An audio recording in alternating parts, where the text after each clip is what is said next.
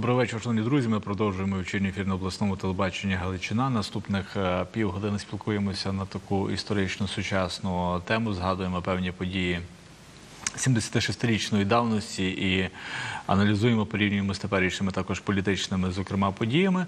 І е, до нас сьогодні завітав Ярослав Коречук, директор музею визвольної боротьби імені Степана Бандери, і Роман Пятківський, кандидат філософських наук. Е, Доброго вечора. Вітаю вас у нашій студії.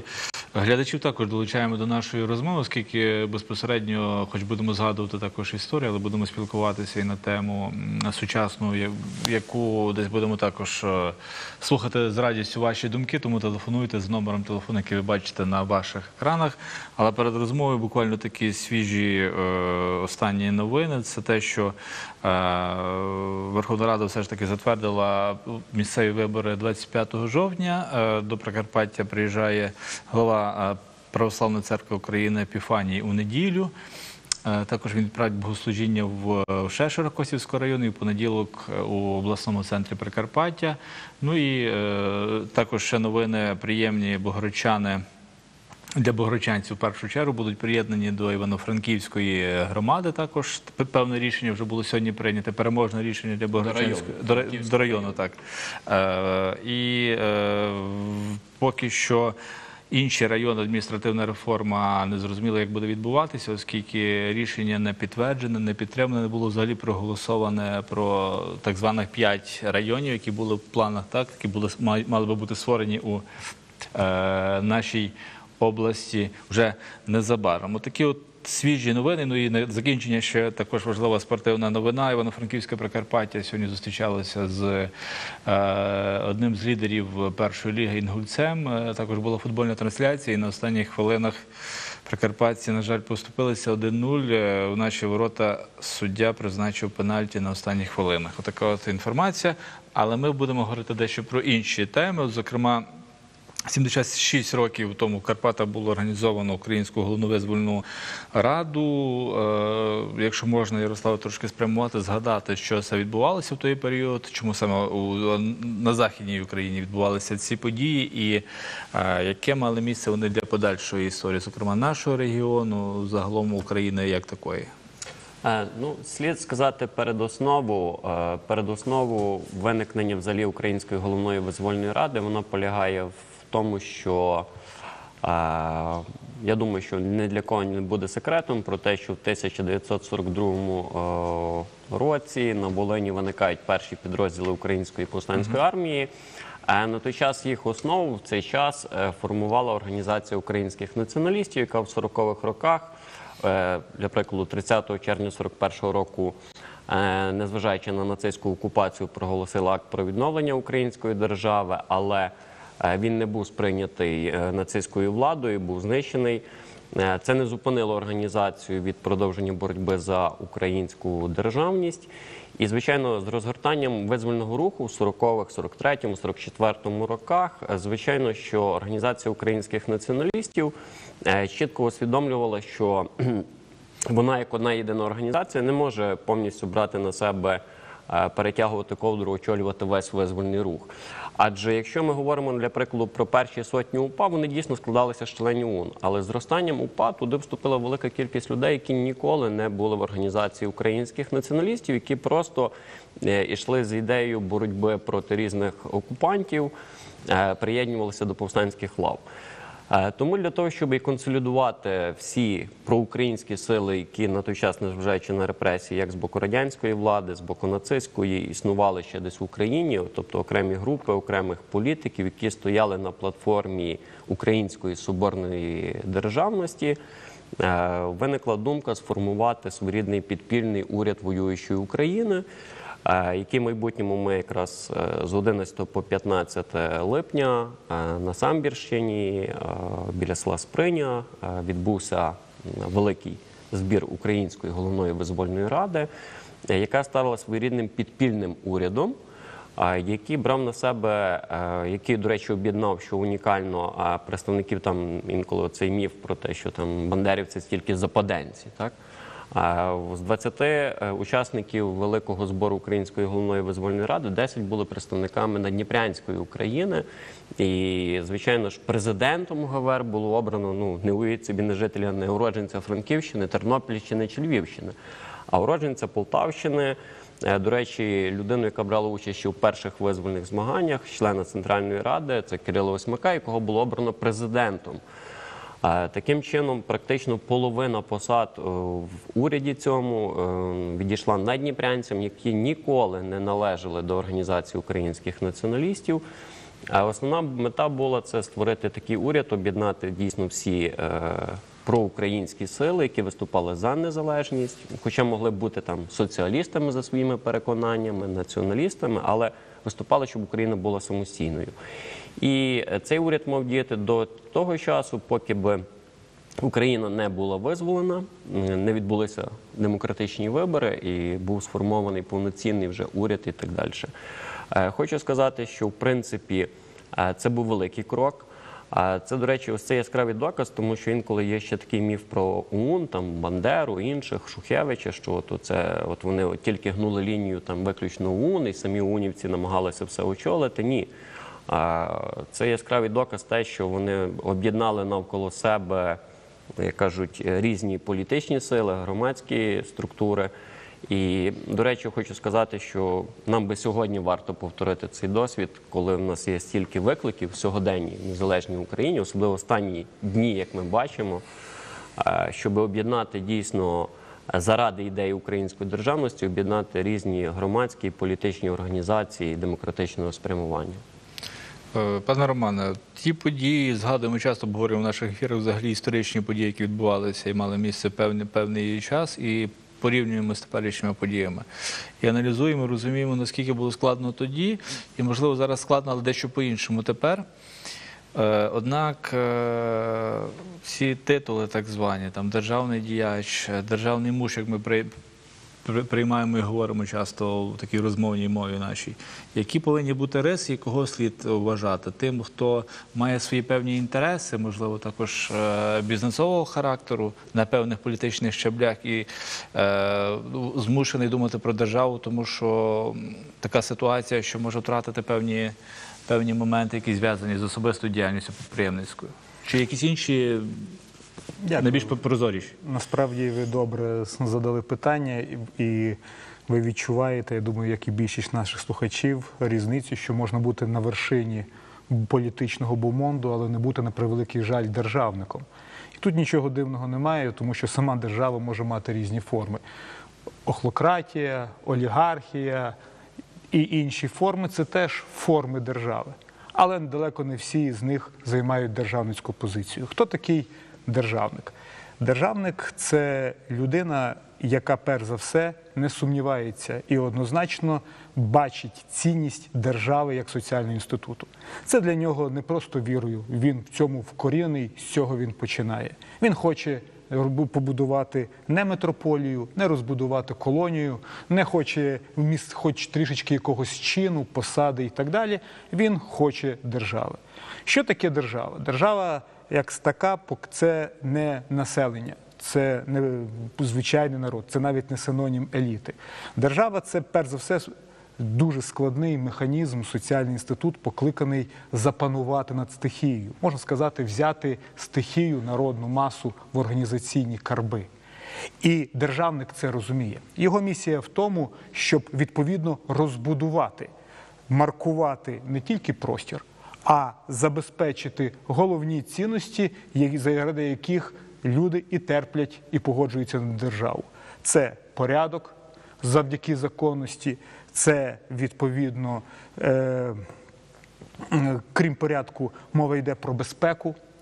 Далі мова йде про можливість розвитку і, безперечно, якийсь поступ і якась тяглість. Яким рисами ви кажете, має володіти справді державник? Я вже почав відповідати. Перш за все, він має чітко бачити титулку, як ми кажемо. Він повинен розуміти політиком чи представником еліти, якої інституції він є. Дуже смішно зараз дивитися, коли хтось вважає себе політиком української держави, але сумнівається в тому, що така держава має існувати. По ділам пізнаєте їх це вже не державницька позиція і не державник. Той, хто сумнівається про в тому, що потрібна армія, чи подивіться, в кого є якісь сумніви чи розрахунки, а чи потрібна релігія, чи церква як ще один соціальний інститут. Хто сумнівається у необхідності якості місцевої сильної освіти, хто сумнівається в тому, що держава неодмінно повинна мати широку перспективу. Ви не помічали, як про те, що як багато сучасних політиків намагаються визначити для нашого народу куток. Куток при комусь, при Росії, ще десь і так далі. Справжні державники відповідно розуміють, що вони мають будувати не хутір, не колонію, а сильну державу для тих громадян, які тут живуть. І ще одна неодмінна ознака: державники, е, які готові боротися, працювати, не служити народу. Між іншим, один з найбільших, я думаю, Ярослав погодиться. Я думаю, е, з найбільших серйозних ідеологів державницької позиції, консервативної ідеології в українській е, суспільно-політичній думці, В'ячеслав Липинський дуже чітко сказав. Він говорив про те, що той, хто захоче опертися на народну стихію, неодмінно втопить і себе, і все українство, тому що воно за своєю інертністю неодмінно тяжіє до чогось малоросійського і російського. Мова йде про те, що неодмінно потрібно бачити трішки далі. Слуга народу це не позиція державника. Державник це той, хто бажаючи громадянам краще, хто бачить, як я сказав, цю перспективу, готовий вести. А для цього він повинен бачити чіткі орієнтири. І останній момент це те, що держава неодмінно соціальний інститут, який пов'язаний з нацією. Той самий Липинський, про якого ми говорили, неодмінно казав: нам ніхто не збудує державу, якщо ми її самі не збудуємо, і ніхто нам з нас не зробить націю, якщо ми не захочемо нацією стати. Про що тут йдеться? Державник неодмінно розуміє, що держава має сенс власного існування тільки тоді, якщо вона окреслена в якихось національних певною міркою рамках. Не обов'язково вузьких, не далеко не етнічних, хай буде політичних. Але тим не менше, державник є відповідно і прихильником національних, як то кажуть, національної там боротьби, що і підтверджує сьогоднішня наша тема. Всі Дя- вони були Дякую вам. Давайте глядача послухаємо, який до нас дозвонився. Доброго вечора, будь ласка. Добрий вечір. Доброго вечора вам. У мене таке питання. От ви файно розмовляєте про державність, про незалежність і тому подібне. Ну але мені от таке питання жителя села Слобожанщини дуже хвилює. Чому за всі ці роки, 30 років почти нашої незалежності, ми ні одного разу не достигли тих висот, коли ми були вместе с Россией. Понимаете, я имею в виду медицину, науку, космос, кораблестроение, ну вообще все. Абсолютно. Почему мы этого не достигли?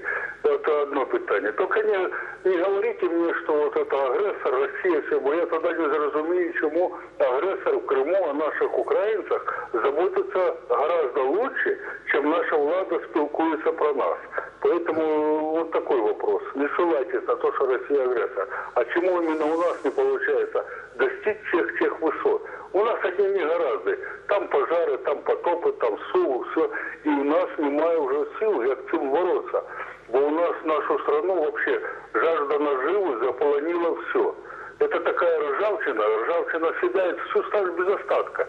И поэтому такая ржавчина, как коррупция, съест все государство без остатка. Мне кажется, что уже перешли мы тот рубеж, когда еще немного, и расколется наша держава ну, вообще на несколько кусочков. И не стоит тогда говорить, неужели тогда опять придется э, сховно строить, воевать за незалежность и так далее, сшивать всю страну. Вот это ну, хотелось, не хотелось бы, понимаете. И так у нас уже в горе у матерей, у детей и все прочее, хлопцы гибнут друг друга, как говорится, стреляют. Поэтому надо бы избегать этой крови и всех этих негаразд. Дякую вам за думку. Глядач з Харківської області телефонує до нас. Ярослав, можна продовжити в контексті державницької політики і державників як таких. Е, Дякую за запитання. Е, Я хочу сказати, е, звичайно, ми зараз там не говоримо про Росію, говоримо про те, що важливий такий момент. Якщо ми говоримо, чому зараз за стільки років від здобуття незалежності України ми десь не бачимо до кінця Україну такою, якою би ми сподівалися бачити, дійсно міцною, сильною національною країною, е, яка би посіла е, провідне місце серед інших європейських народів та націй.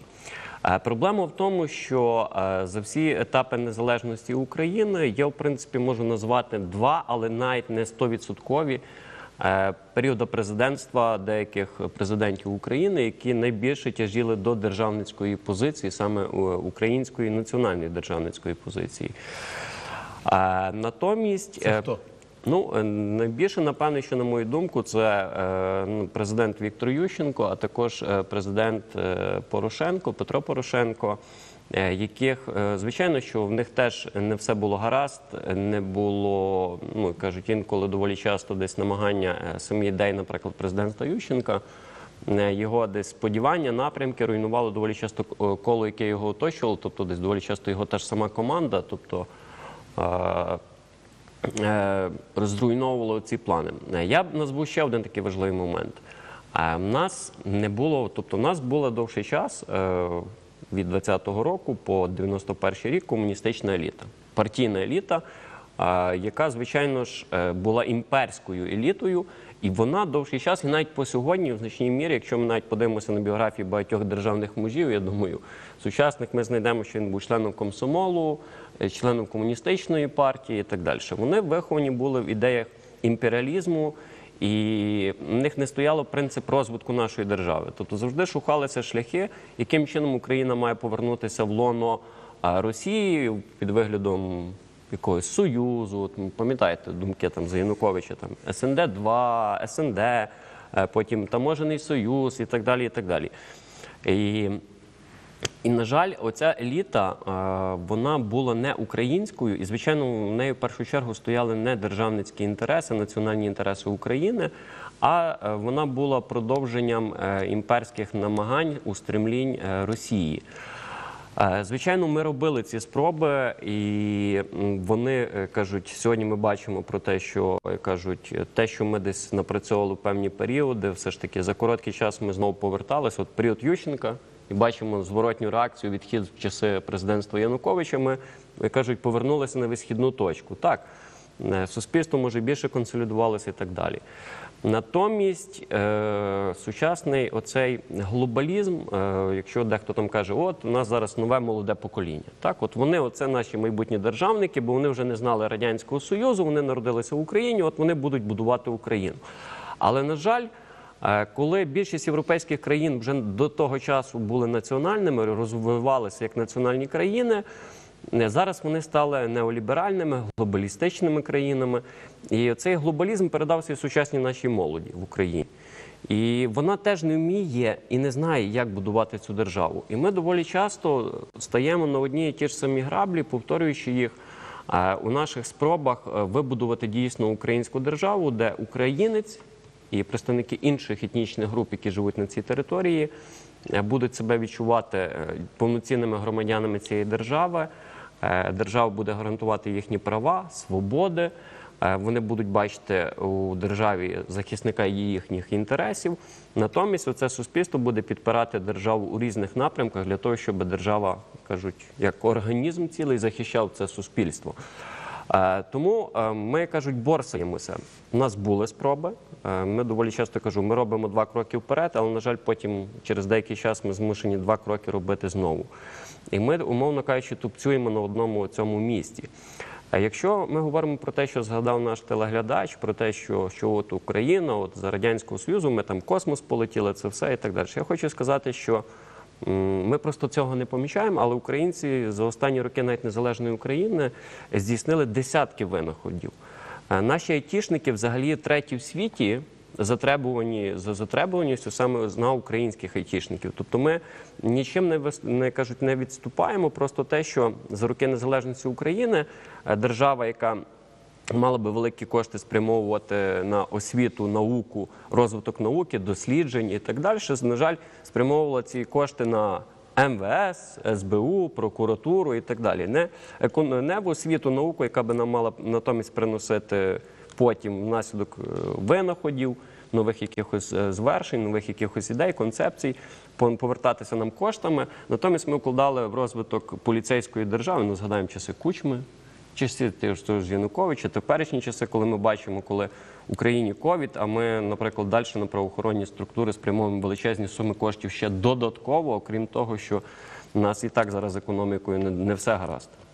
Державники, люди, які, е, скажімо, на недавній момент, так вони проти е, карантину виступають. Люди, міські голови, наприклад, звичайно, той же мер Черкас, так який активно висловив свою позицію неодноразово, яка взагалі була протилежною позиції е, ну, президента України в першу чергу. Так на місцевому рівні їх можна називати державниками. Люди, які мають свою позицію, за якими стоїть громада е, впевнені у своїй силі, у своїй правоті, водночас пам'ятаючи про те, скажімо, що е, ну, скажімо, там ми згадували 25 жовтня наступні місцеві вибори.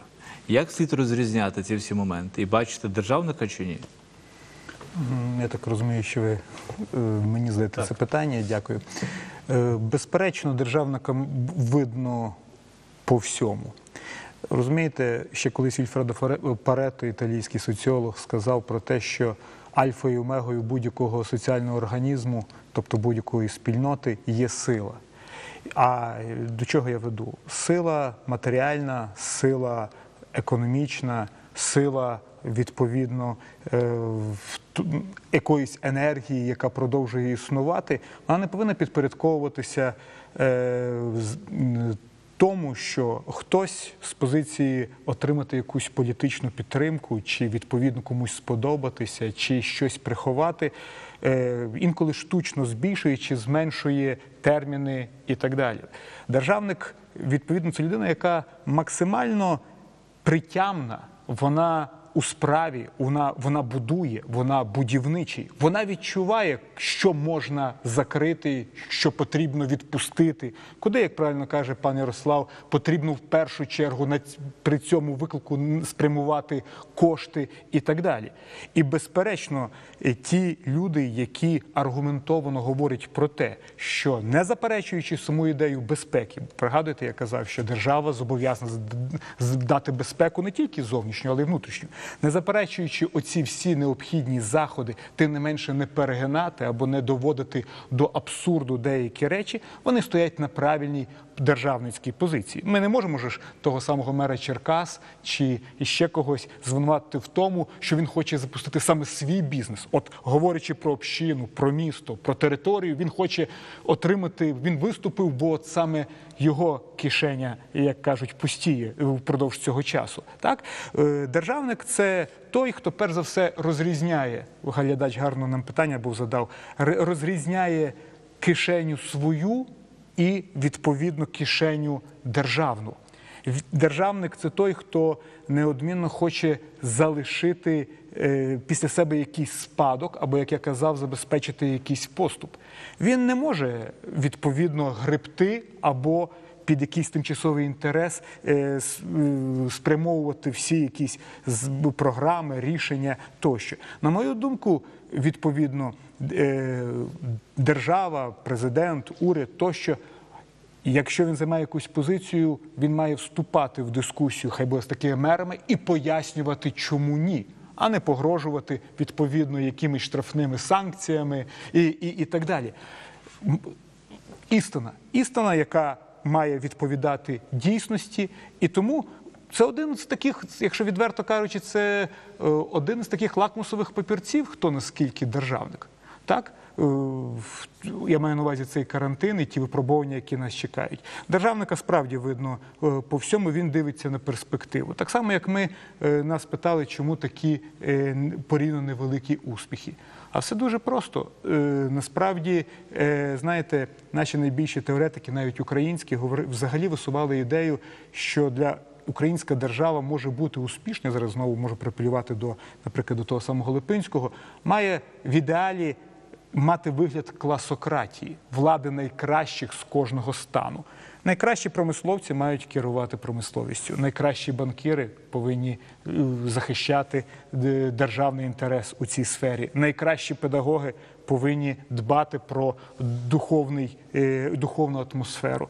І це стосується абсолютно всіх моментів. На жаль, у нас впродовж всіх цих років, е, пан Ярослав говорив про те, що в нас відразу була зламана ця система, тому що е, основні управлінські функції на початку отримали представники комсомолу, комуністичних там партій і так далі. Не найкращі з якогось класу верстви, а ті, хто швидше зорієнтувався, так але вже на 30-му... Це і зараз продовжується. І безперечно, але вже на 30-му році формувати найвищі державні інстанції, чи відповідно місцеві е, уряди, е, чи територіальні якісь управлінські е, органи на рівні ти мені кум. Ти відповідно щось, начебто, мав бути компетент, трошечки може бути компетентний або щось читав.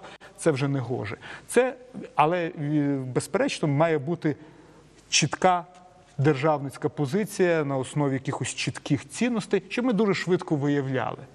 Це хибно, це неправильно, це як кажуть навіть не в штангу. Виявляємо телефонний дзвінок. і Глядач додзвонився. Доброго вечора. Будь ласка, ви в ефірі.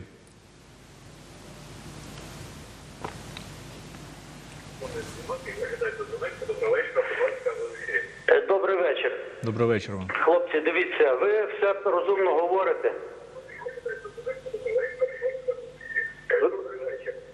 Дякуємо вам. Але продовжуйте, якщо, якщо можна швидше. Але справа в тому, що в державі може бути настояща ідилія тоді, коли буде одна, одна нація. Е, Одна нація, одна мова, одна віра. От тоді буде якраз той е, цимус, який зробить державу передовою. І ми не буде, а не будуть ці меншини нам мішати під ногами. Вони повинні русський язик віддіти хотять.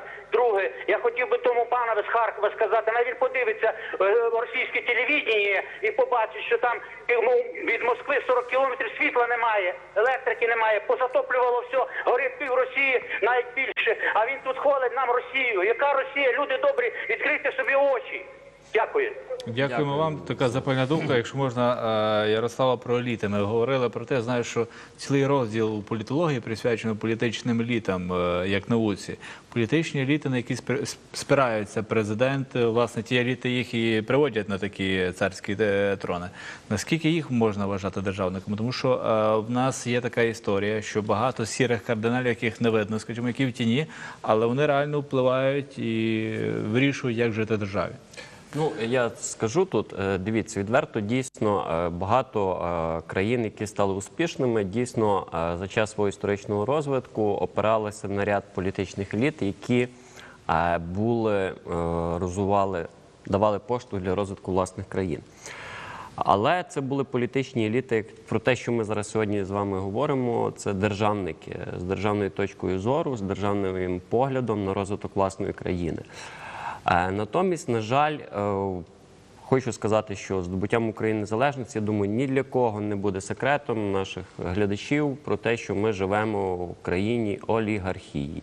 Так, коли впливають певні фінансово-промислові групи, тобто які мають фінансові інтереси, які і формують оце політичне е, тло.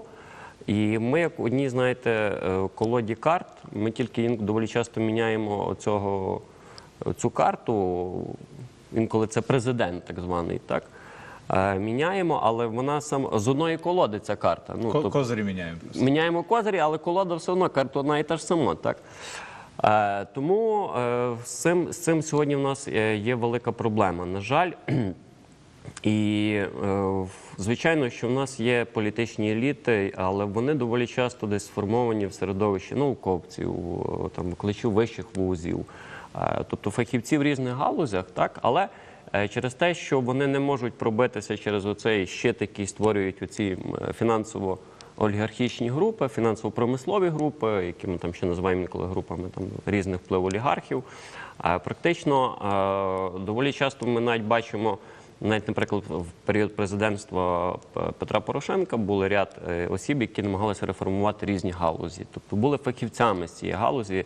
Реформувати інколи ми навіть з вами суспільством не, е, не сприймали їхніх оцих якихось реформ, бо вважали, що це занадто там радикально, чи ще щось, чи ще щось. Але таких людей найчастіше е, оці кажуть, сірі кардинали намагалися і знищити, витіснити з цього середовища е, для того, щоб вони дійсно не провели реформу, адже цих же сірих кардиналів влаштовує існуючий стан. Тобто, коли далі можна успішно вирішувати е, питання фінансово-промислових груп і доволі часто використовувати бюджет України, українські природні багатства е, в інтересах е, певних кіл, певних груп і так далі. Натомість Хочу сказати, що російська агресія на сході України для декого з таких еліт стала певним і холодним душем і спонукала навіть як кажуть робити певні кроки.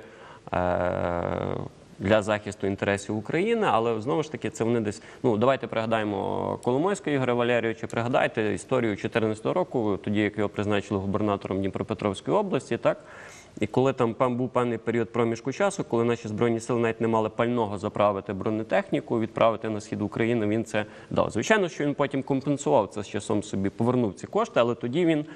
Звичайно, але знову ж таки тут треба розглядати те, що він це зробив для захисту своїх підприємств, які могли опинитися під російською стороною. А от тут натомість е, ми е, сьогодні якраз дискутуємо про те, що нам дійсно потрібна хороша, потужна політична еліта, яка би змогла е, розвивати, розбудовувати країну. І для того, щоб дійсно українці себе відчули повноцінним народом. І що ще телеглядач нам так задав? Е, Нація, національні меншини і так далі. Доволі часто Е, Скажу, що є представники різних національних меншин, які доволі часто краще спілкуються українською мовою, ніж інколи там в Харкові людина, яка там з діда прадіда десь корінь коріння, ще козацький корінь, але за роки втратив, говорить сьогодні російською мовою і там кричить за Росію. А наприклад, грузин, там, який живе там років 15 в Україні, є більшим патріотом.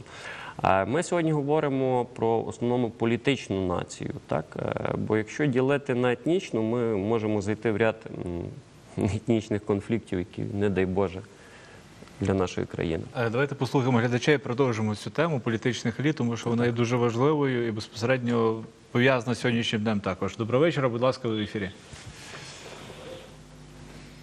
Добрий вечір, студія. Доброго здоров'ячка. Е, Сьогодні дуже е, серйозне питання, і якраз по темі я е, виношу дуже давно.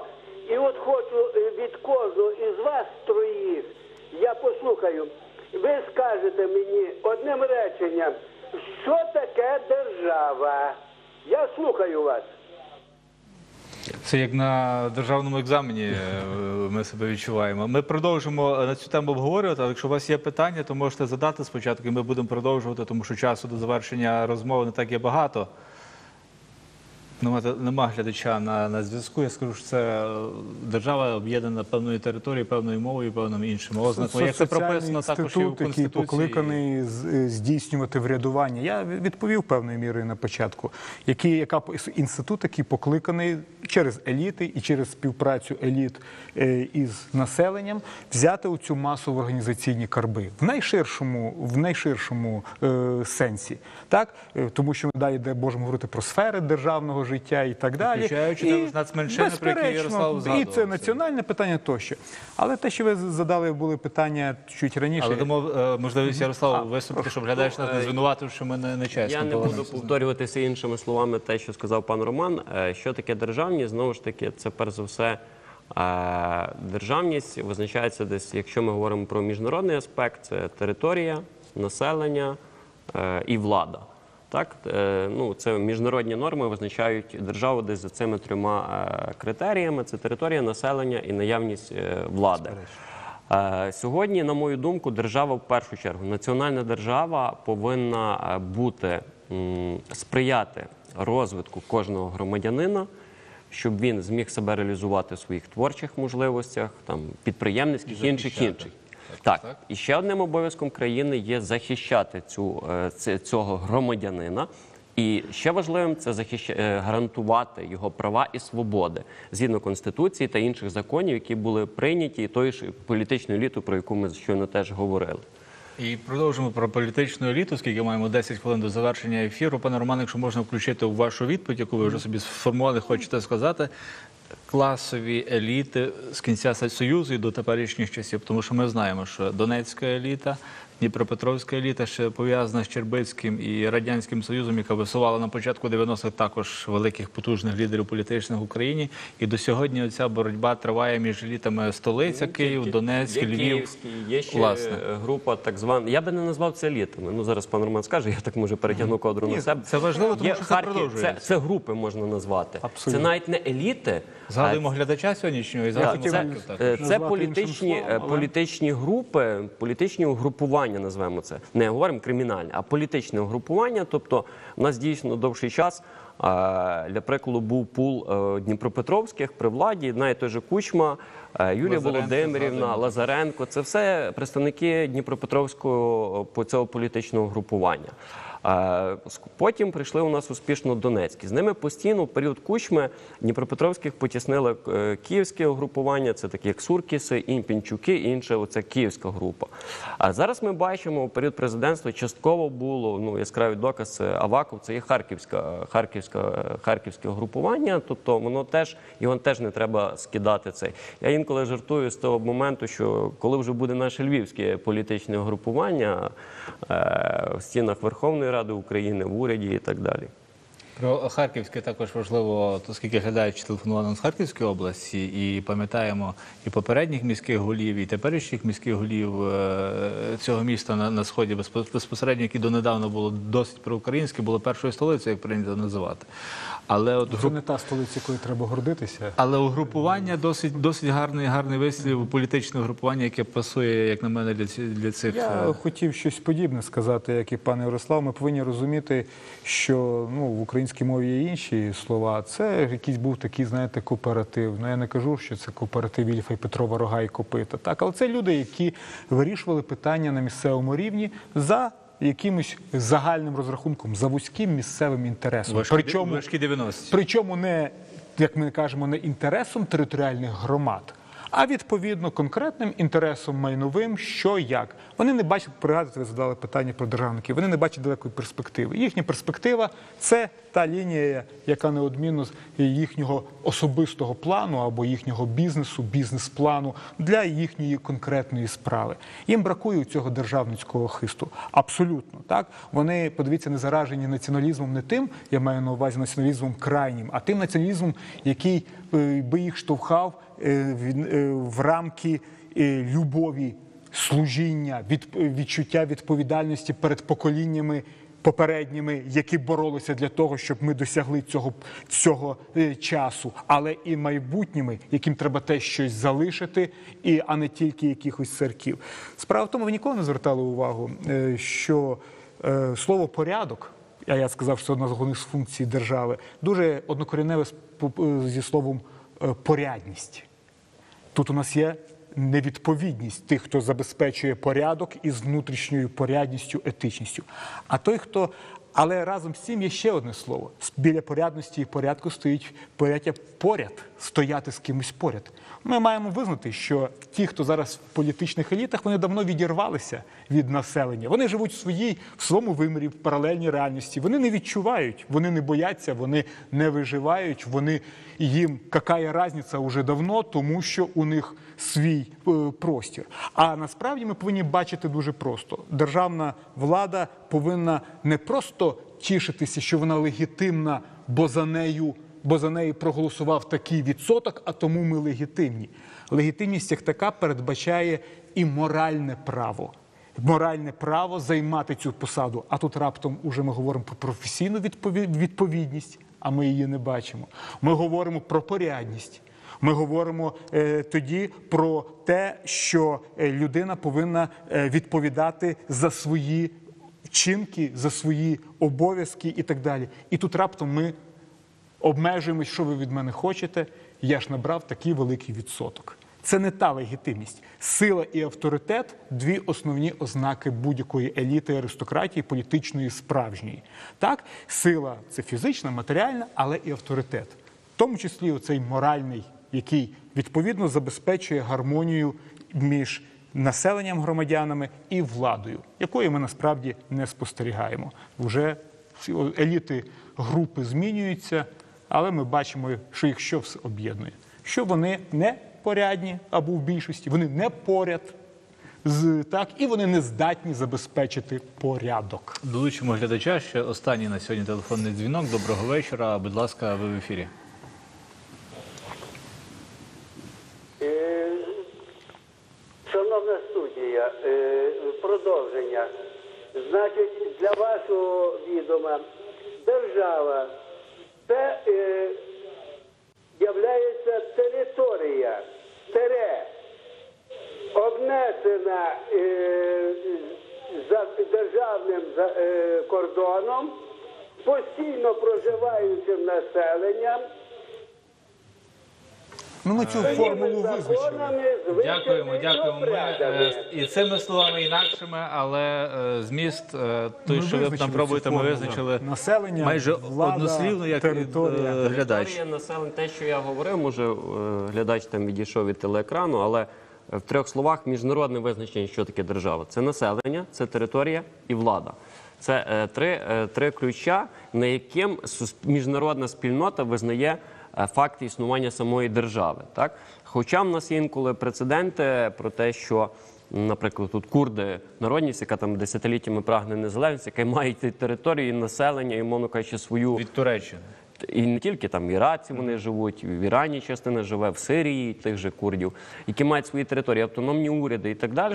Однак вони не можуть міжнародно бути до кінця визнаними як незалежна Не Останнє питання на сьогодні: чому бракує фанатів політичних політичних державників та фанатів, як це було, скажімо, в часи Кирила Восьмака, про якого ми згадували, часи Степана Андрійовича Бандери, які не тільки боялися, можливо, мали би могли би боятися політичної поразки, але й е, були під е, оком ворога і е, смертельно смертельна небезпека очікувала на них на політичних е, невдач. я, Будь ласка. може, я може бі- беру такий ширший метафоричний певною мірою ракурс більше.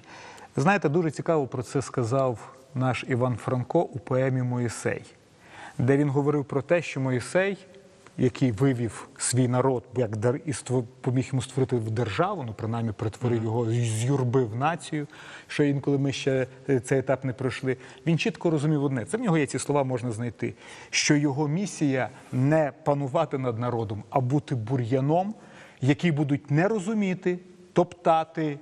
Не буде популярності, але по ньому покоління підуть у краще майбутнє. Це певною мірою відповідь, чому бракує. Бракує людей, які готові бути тим бур'яном, який, який ляже своєю в праці, да? от в праці ляже, не в розумінні героїзм, куля і так далі. А от до останнього подиху буде працювати на державу, якій він ну, присягнувся служити. Ну тут е, в нас один був випадок нещодавно. Пригадайте 2014 уряд Яценюка, який називався уряд Камікадзе. Чому? Бо основна була мета, не е, як ми бачимо після е, прем'єрства Яценюка, практично його партія розпалася. Сьогодні там Народний фронт, яку він тоді очолював, практично втратили рейтинг. Тому що треба було робити непопулярні кроки, не подобатися людям, як це як фантик обгорточка, що я ось візія. такий хороший. Були А йти на інколи на такі е, неприємливі для суспільства інколи речі, робити такі кроки, які десь суспільство не сприймає або не розуміє на тому певному етапі свого розвитку. І на, натомість е, інколи нам потрібно ось такі камікадзи е, в політичних елітах. І ще, якщо можна, останнє точно на сьогодні, по 30 секунд на кожного. А як людям розрізняти, старатися розрізняти, де е, політичні камікадзе, де люди, які хочуть іти по цьому бур'яну, а де ті, які можуть бути бур'яном і допомагати йти далі? Дуже просто. По ділам пізнаєте їх. По ділам пізнаєте їх. Державник по-іншому не може. Він бачить йому, йому вузько в рамках тих часу, йому вузько в рамках коштів. Він шукає можливості. Ті всі ознаки, які ви з мене випитали, так на сьогоднішньому ефірі, вони не дають йому спати, не дають спокою. А той, хто ховається, той, хто оглядається назад, хто вже говорить про те, я піду, а не йде, і так далі. Тобто він, він не знайшов ще того балансу, він ще не визначився.